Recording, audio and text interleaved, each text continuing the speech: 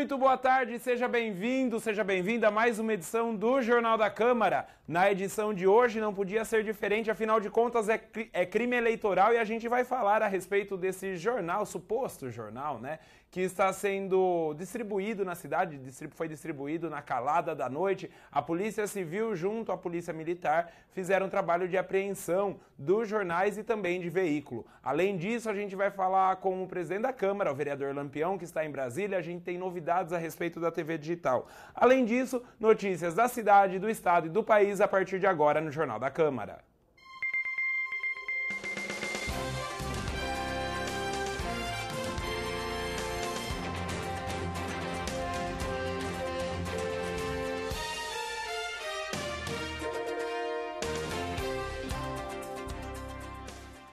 Muito obrigado pela sua companhia e pela sua confiança aqui com a gente no Jornal da Câmara. A gente começa essa edição sem perder tempo mostrando para vocês o trabalho da Polícia Civil, que a Polícia Militar, na verdade, fez a, a primeira parada, digamos assim, né? Parou a, a Kombi que foi apreendida junto com cerca de 2 mil jornais, edições do jornal que está defamando o candidato Rafael Agostini. A Vera esteve agora pela manhã na delegacia seccional e conversou com o Dr. Carlos Alberto, que é o delegado seccional da cidade.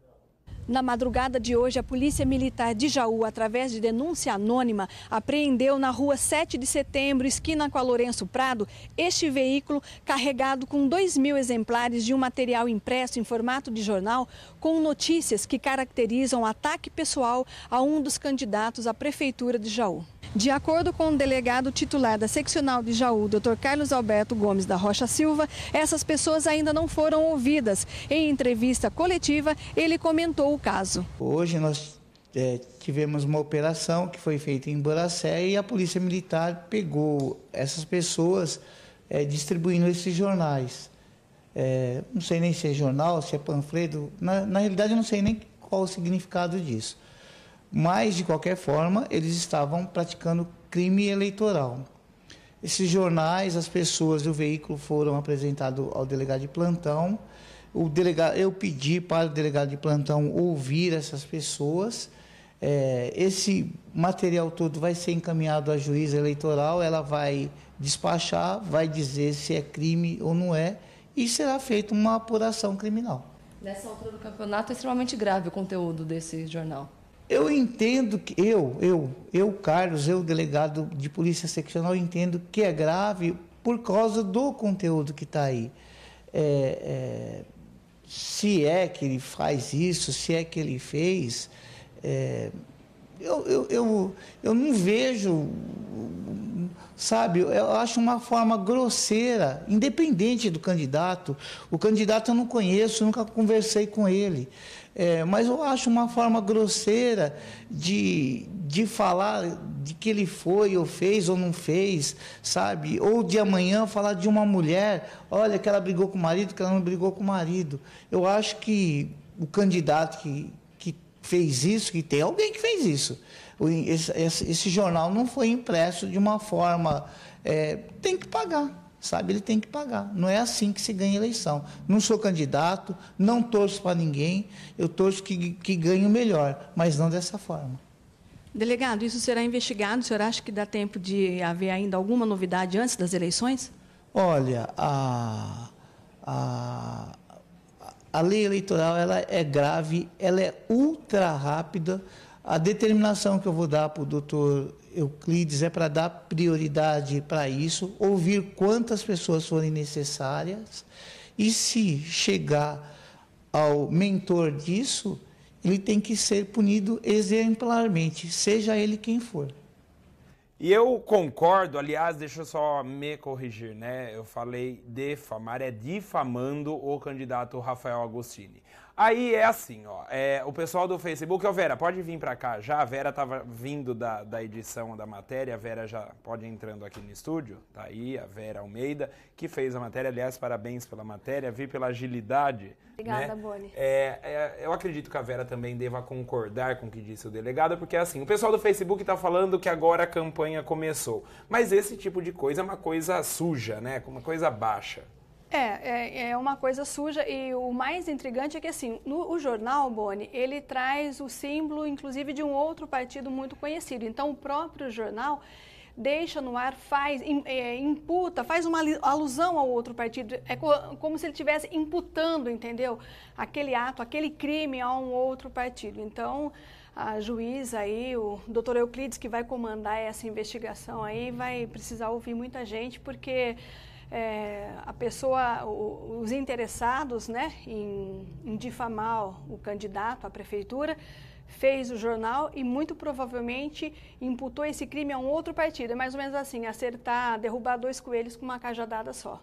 E infelizmente, boa parte da população não tem acesso às informações verdadeiras e também não é todo mundo que se dá o trabalho de correr atrás. Hoje pela manhã, pelo menos, por exemplo, o Veidson já levantou aqui pra gente que a tal clínica usada ali nas imagens não é uma. Não, aquela foto usada na, no jornal não é de clínica nenhuma, né? A clínica existe em Botucatu. Aí, se o candidato que dizem lá que ficou em uma clínica, ficou também, o problema é dele, né? Todo mundo merece direito à segunda, terceira, quinta chance. Ninguém sabe se é verdade isso. E outra coisa é, é a, vida pessoal, né? Tudo bem, o candidato é público, mas até aí tem um limite, né? Eu acho que feito, feito desse jeito, é, tira até a credibilidade, entendeu? Se o fato é de verdade ou não. Eu, eu acho que tudo pode, eu sempre falei isso para você e falo para todo mundo, eu acho que tudo pode ser dito, inclusive aquilo que parece negativo num primeiro momento ou realmente é negativo, tudo pode ser dito e tudo deve ser ouvido. Depende do jeito como você fala. Quando você faz dessa forma sobre ataque, eu acho que perde um pouco a credibilidade. Mas o fato está aí realmente, Boni, caracteriza um ataque pessoal a, ao candidato, a esse candidato aí é, com intenção de ocupar a prefeitura. Outra coisa, se falassem, por exemplo, o candidato não fez isso politicamente ou fez isso politicamente, é uma coisa, né? Aí é assim, é, no caso, quem fez, quem se deu o trabalho de confeccionar isso aí, é, não tem politicamente o que eu, por exemplo, chego à conclusão é que não tem politicamente no que bater no candidato. Porque se vai para a vida pessoal é porque politicamente não tem nada. Ou o cara é muito bom ou o cara não fez nada. Quando acabam os argumentos racionais, os argumentos que são pautados na razão, Boni, aí sobra esse tipo de coisa, entendeu? Mesmo porque é, o teor dessas notícias, ele já foi usado em campanhas anteriores. Em campanhas anteriores, né? Então, quer dizer, é, é um, um, o, o, velho com uma roupagem nova. Eu acho que as pessoas estão atentas, cada um conhece um pouco o seu candidato, eu acho que as pessoas estão buscando isso.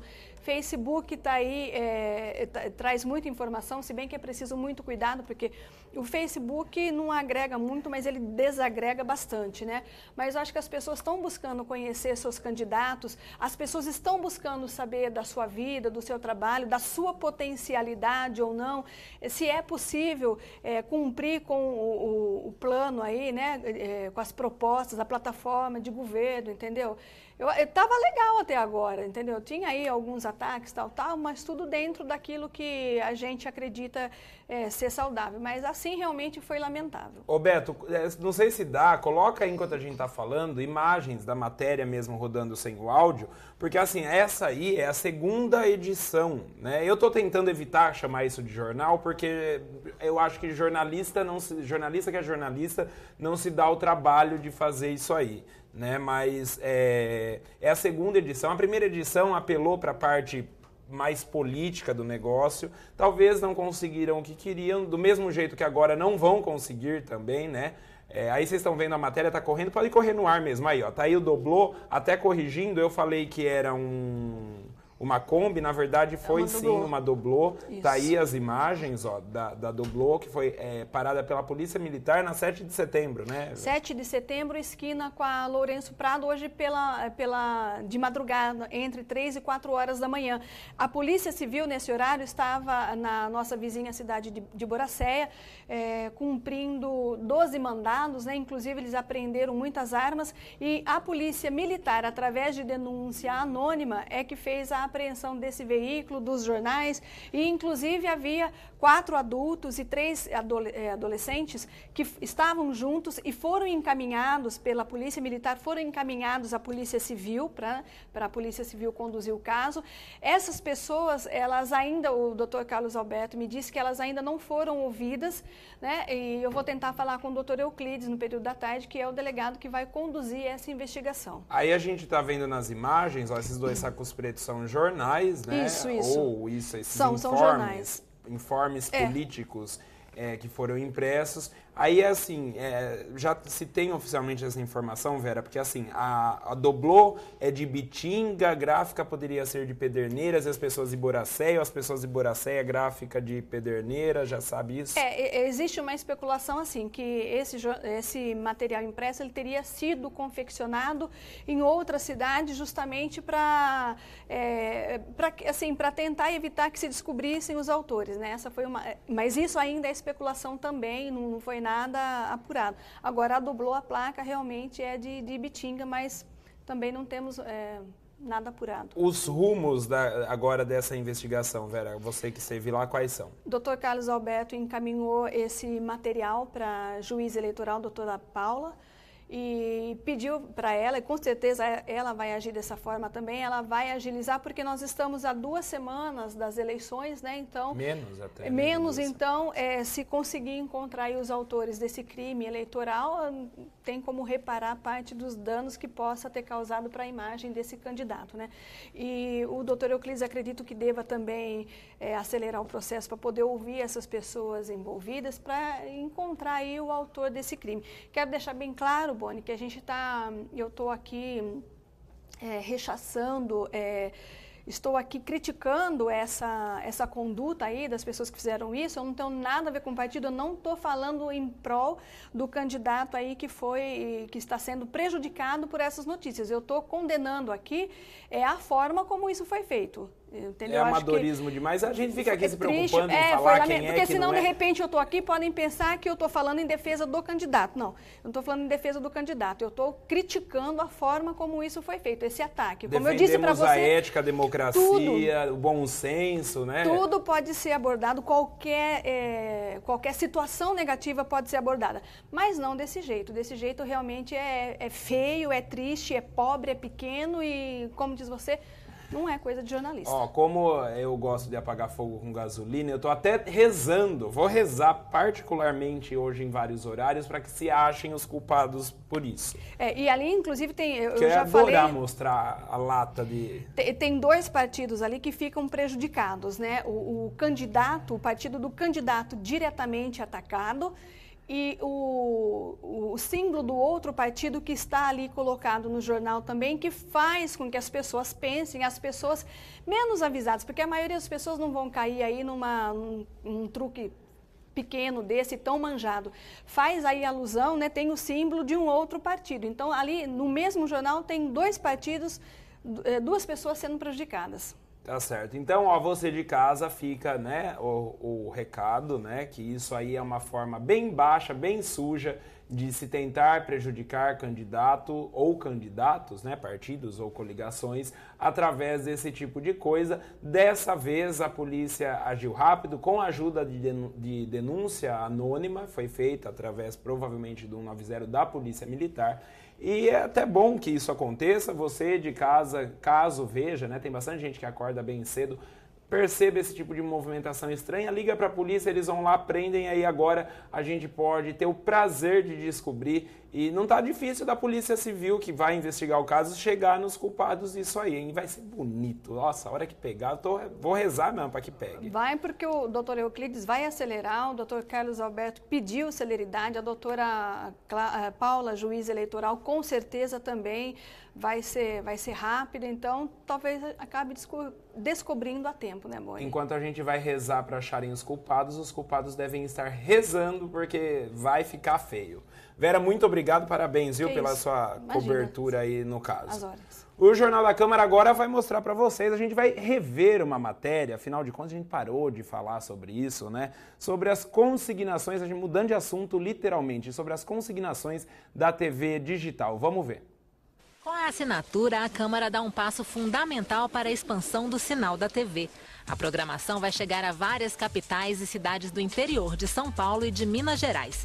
O documento assinado permite o funcionamento da rede legislativa de TV digital em sinal aberto e gratuito, com as programações da TV Senado, TV Assembleia e TV Câmara Municipal, além da TV Câmara. O cidadão pode acompanhar o que o seu deputado, o deputado da sua região, às vezes tem mais de um deputado na região, comparar o trabalho e acompanhar os temas de interesse nacional. Às vezes não é um deputado da região dele que está capitaneando, mas são temas, o salário mínimo, aposentadoria, é, código florestal, são temas que as pessoas querem saber o que está acontecendo. A inauguração das operações começa já agora em 29 de março em Ribeirão Preto, interior de São Paulo. Ainda em março serão inauguradas as operações nas cidades paulistas de Barretos e Jaú. Em abril, nas capitais Porto Alegre, Fortaleza e Belo Horizonte.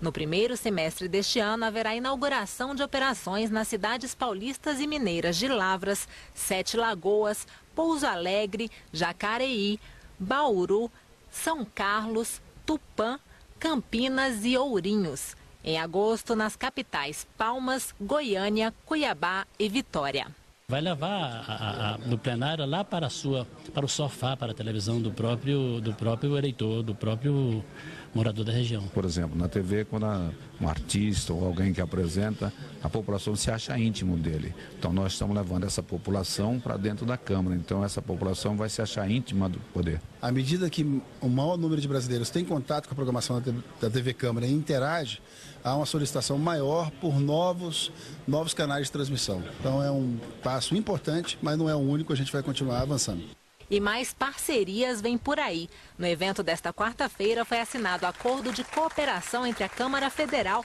e a Câmara Municipal de Divinópolis, Minas Gerais. A Câmara Municipal, ela passa agora a figurar num rol de poucas câmaras municipais, em sintonia com a Câmara Federal e a Assembleia Legislativa de Minas Gerais. Acho que isso, inclusive, dá mais legitimidade ao processo uh, legislativo que é feito, na, na realidade, com a participação de toda a população. Ainda neste mês, novos acordos serão assinados com as câmaras municipais de Montes Claros, Uberlândia, Uberaba, Santos, Guarujá, Valinhos, Sorocaba, Presidente Prudente, Americana, Araras, Bragança Paulista, Atibaia, Votorantim, Franca, Araraquara, Limeira, São José do Rio Preto, São Carlos, Praia Grande, Piracicaba, Penápolis, Mogi das Cruzes, Jundiaí, Itu, Cubatão, Marília, Caraguatatuba, Botucatu e Assis. Para a vice-presidente da Câmara, o acesso de mais pessoas ao conteúdo das TVs legislativas vai fazer com que a discussão de temas importantes chegue mais perto da sociedade. Se esse processo tivesse andamento antes, a discussão sobre o Código Florestal seria muito diferente, porque as informações que ainda faltam para complementar essa discussão sobre o Código já teriam chegado à população e muitas coisas seriam diferentes, né? Então, eu acho que essa informação, se elas for verticalmente colocada e chegar à base é uma forma de modificar a realidade de tudo que é feito dentro do Congresso Nacional, que é feito nas assembleias e que futuramente serão nos municípios. Muito bem, e aí a gente estava devendo isso, né? Eu acredito que a gente já está na linha com o presidente da Câmara, o vereador Carlos Lampião Magon. É, boa tarde, presidente, tudo bem? Primeiramente, Doni, uma boa tarde a você e aos ouvintes da nossa TV Câmara. Presidente, o senhor está em Brasília, a princípio, para participar de uma audiência, né, que marcada pelo senhor e pelo, pelo Marcos, para com o secretário especial de comunicação eletrônica do Ministério da Comunicação, para tentar resolver esse problema do canal digital, né? É, é, resolver, que eu digo, é colocar no ar, não é isso, presidente? Ah, você falou tudo. Esse é o isso mesmo que você colocou agora, a gente já está aqui perto, por volta das 14 horas, a gente tem um, uma audiência com realidade com a pessoa que provavelmente, com certeza, vai dar já autorização para que a gente entre ao vivo para a cidade de Jaú inteira. O, o famoso e o cunhado, sabe que você sabe o, canal aberto ao povo jauense. Tá certo, presidente. Essa é uma briga meio longa, né, da Câmara aqui de Jaú, que o senhor está como presidente no momento, para conseguir a liberação, né? Cumpriram-se vários prazos, a estrutura toda aqui da TV está pronta para entrar com o canal aberto, né? Pra, como o senhor disse, para a população toda. Lembrando que vai ser, a partir de então, aí a TV Câmara vai ser de graça para 100% do município de Jaú. E é isso que o senhor então faz aí, correto? Isso que você já, já falou. É um trabalho de praticamente mais de três anos. No meu já praticamente está indo para um ano e oito meses. Diversas viagens, diversas falas, diversos empenhos. É bem até meio chato, porque você chega aqui e fala que vai dar certo, aí depois falta um papel, mas agora já estamos numa reta final. Eu acredito que hoje, ou provavelmente semana que vem, a gente já aperta um botão aí, e nós já estamos, você sabe que estamos preparados para receber esse ofício aqui e entrar em Jaú aí, um canal do povo jauense para saber do que passa na Câmara, para saber tudo do meio, do meio da política. Lembrando, só para a gente encerrar, Lampião, que a Câmara Municipal de Jaú né, cumpriu com todos os acordos, contratos e combinados entre a Câmara Municipal, a Câmara Federal e também a Assembleia do Estado. Né? É como você estava dizendo agora, o problema sempre ficava nesses trâmites burocráticos, né? sempre criticados os problemas de papelada, né? É, é isso que a gente sempre fala, né? O trabalho foi feito, o empenho meu dos funcionários da TV, dos funcionários da Câmara, do pessoal de São Paulo, tem deputado envolvido, tem senador envolvido.